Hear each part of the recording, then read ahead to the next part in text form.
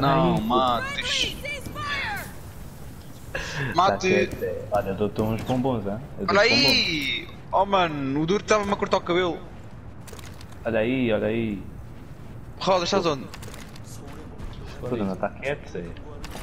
Rodas! Quem quer bombons? Quem quer bombons? Are you ready?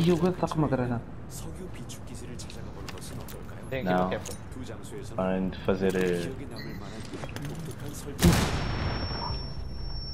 Bomb has been located.